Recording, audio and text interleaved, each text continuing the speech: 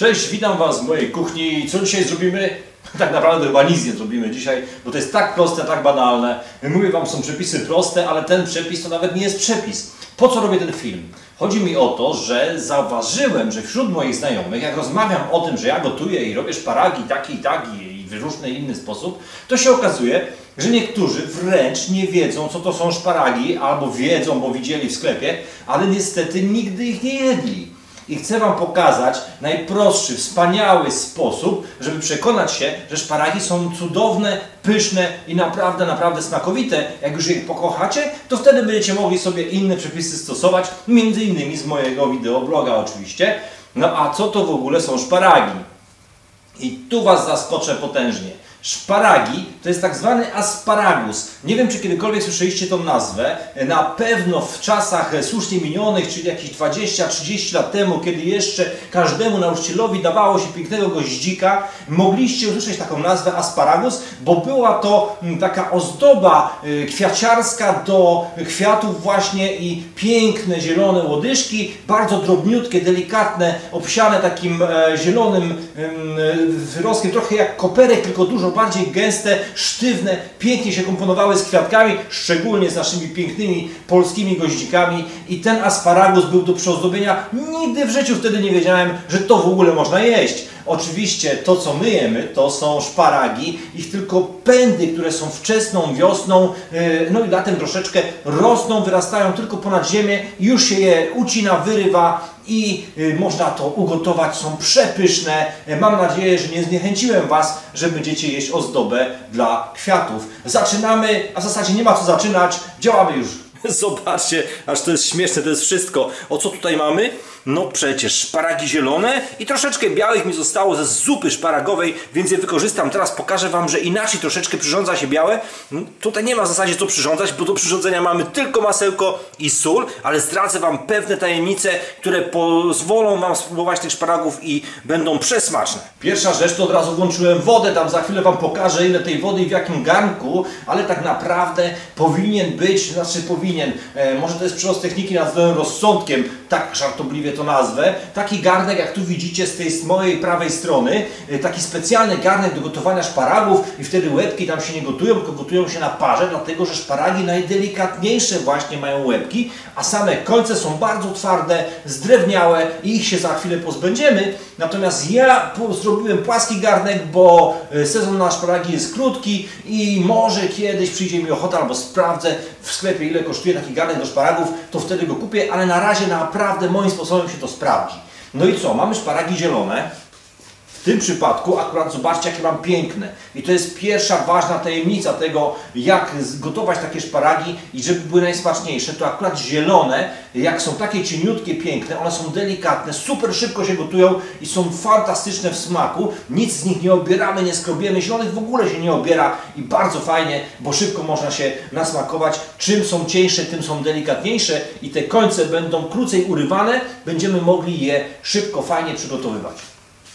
No i białasy takie, one są już twardawe i grube, będziemy musieli je obrać i dużo nam odejdzie z końca, więc pamiętajcie, zawsze jak idziecie szparagi kupować do sklepu, to szukajcie jak najdrobniejsze. Jak znajdziecie takie drobne jak ja mam, to nawet właśnie bardzo fajnie się składa, że pół kilograma i mam tych szparagów dużo ilościowo, więc są podzielne i każdy może zjeść na przykład do obiadu, wręcz sobie do jakiegoś tam, do jakiejś potrawy, a takie grubaski to niestety lepiej zrobić z nich krem, ponieważ mało podzielne, do jedzenia nie za dużo, no i tylko główeczki będą takie bardzo delikatne, a reszta jest twardawa. No to co, więc e, szybciutko działam dalej, bo się woda zaczyna gotować. Oto garnek z szerokim dnem, zobaczcie, wody jest tak tutaj dotąd, może tam jak widzę 2 litry. E, chodzi o to, że jak wrzucę tutaj szparagi, żeby mi się całe zmieściły, no więc jest super, niech ona się gotuje, przykryję na chwilę do zagotowania, ale później będę oczywiście gotował je odkryte, żeby były bardzo piękne i zielone. Natomiast co robimy z tymi zielonymi szparagami? To jest pyszniutkie, to też jest miękkie i fajne. Ważne jest też, słuchajcie, jak będziecie kupować szparagi, żeby nie były takie zwiędłe tutaj, bo już wtedy nie będą dobre. Muszą być twarde, sprężyste. Niektórzy mówią, żeby odkroić 2 cm, 3, a skąd mam wiedzieć, gdzie on jest taki niedobry? Więc najlepiej po prostu złamać go. O, właśnie, tak pękł i to jest fantastyczne. Tej części już nie będziemy jeść, a tą będziemy sobie gotować. Czym grubszy, tym będzie nam łatwiej. Właśnie, widzicie, pękł w tym miejscu i odrzucam to. Jeżeli tu bym, zobaczcie, tu nie chcę pęknąć, bo jest po prostu twardy Więc to będziemy zjadać i jeszcze nadal pyk. I tak wszystkie zieloniutkie sobie pykamy. I normalnie teraz to wyrzucam do kosza niestety, ale gdybym gotował jakąś zupę na przykład jeszcze obok tego podawanego szparaga na talerzu, jeszcze jakąś zupkę szparagową, mógłbym wrzucić to do tej zupy, wyciągnąć z nich aromat i później odcedzić tą zupę i wyrzucić dopiero wtedy odgotowane już te końcówki, no ale akurat teraz nic takiego nie robimy. A do białych bierzemy obieraczkę i delikatnie każdego jednego trzeba obrać, ponieważ ta łykowata część jest niezjadliwa. Obieramy je mniej więcej od łebka w dół. Tu jest łepek, tu obieram. Dlatego powiem, o i tu się złamał, ale tutaj złamiemy go w innym miejscu. O widzicie, tu jest, tu jest naprawdę twardy, to już jest, nie nadaje się. I ja nie lubię tych białych szparagów nawet tak jeść. Jak ktoś ma bardzo wielką ochotę, to niech się z tym bawi. Ale tak naprawdę super nam smakują zielone. Te mi po prostu zostały, więc pokazuję Wam jak to się robi. Jeszcze następna ważna rzecz, tu będą zielone, a tu białe. Nie mieszamy ich, ponieważ te smaki nie są takie same, a my chcemy poczuć smak zielonych, pysznych szparagów mięciutkich. No i oczywiście tych białych, ja te białe tak traktuję po macoszemu, po prostu u nas się nie przyjęły. Więc zielone wędrują do garnka. Trzeba wszystko zanurzyć. Ale uwaga, mega ważne info o tym gotowaniu. Nie solimy wody. Słuchajcie, sprawdzone przeze mnie osobiście, posolicie wodę, będą słone, będą się gotowały, nic im się nie stanie. Natomiast nie smakują tak dobrze jak sól po wierzchu. To jest jak w McDonaldzie frytki. One są mocno posolone po wierzchu i wtedy są fantastyczne. Tutaj też tak zrobimy. Nie solimy wody, tylko później przemienimy sól albo jaką tam macie, posypiecie po wierzchu i będzie super. Nie przykrywamy, jeszcze raz powtarzam, gotujemy tak jak teraz, żeby były zielone, gotujemy do miękkości. Co to oznacza? A tylko tyle, że, że muszą być miękkie, ale muszą być miękkie ich końce, nie łebki. Łebki się szybko gotują. One dosłownie, jakbyśmy zanurzyli na minutę, to już by były zdatne do jedzenia, więc po pierwsze nie możemy ich rozgotować, bo się rozciapciają, a po drugie muszą być miękkie na końcach. Bierzemy ostry widelec i sprawdzamy albo patyczek, czy już na miękko wchodzi. Możecie sobie wcześniej na zielonym, nieugotowanym przetestować jak się wbija, a jak się wbija po ugotowaniu. Jak wchodzi sobie już delikatnie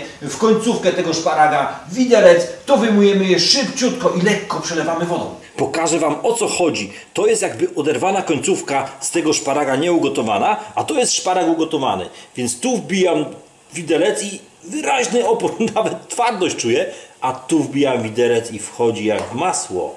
Już jest mięciutki, super, już można byłoby chrupać, ale w tej chwili zabieram je i wrzucam na duszlak. Ohohoho. No już coś widać i pamiętajcie, żeby wziąć na chwilę delikatniutko, przelać tylko delikatniutko zimną wodą. Chodzi o to, żeby się dłużej nie gotowały, żeby już nie rozpływały nam się i żeby nie były zbyt rozlazłe. I teraz na najmniejszej patelni rozgrzewam sporo masła, zwykłego, nieklarowanego. Pamiętajcie, ono nie smakuje klarowane tak dobrze jak masełko zwykłe. Masełko się już roztopiło, aż się spieniło, ale nie za mocno, żeby go nie przegrzać. Układamy sobie tutaj kilka przepysznych szparagów. No akurat mam taki talerz, żeby Wam ładnie kontrastował, żebyście mogli zobaczyć jak to wygląda. Polewamy delikatnie masłem. Jakie to jest super. I właśnie dopiero w tej chwili solimy to. Dobra. No i oczywiście degustacja, ale mi ślina już cieknie, one są przepyszne, przekonacie się do nich, są fantastyczne. Zacznę od łebka, bo on jest bardzo, bardzo delikatny. Zobaczę, czy naprawdę smakuje tak, jak Wam tu opowiadam. Nieprawdopodobny smak. Coś, czego jeszcze nie jedliście, jeśli tego jeszcze nie jedliście. Oczywiście to jest podstawowy e, sposób nauczenia się, jak smakują szparagi, a później możecie rozwinąć skrzydła, zobaczyć na moim kanale zupę szparagową, czy szparagi zawijane w cieście francuskim, a może szparagi w jednym kociołku z makaronem, albo jeszcze jakieś inne szparagi kiedyś zrobię i będzie super. Takie rzeczy znajdziecie na moim kanale. Nauczycie się gotować różnych rzeczy, nauczycie się smaków przez telewizor, zobaczcie, czy przez komputer, zobaczycie, jak to świetnie wszystko można przyrządzić, a ja już zmykam to jeść, bo one nie mogą być zimne, najlepsze są właśnie lekko ciepłe, więc tak ma być. Środa gotuje. Cześć!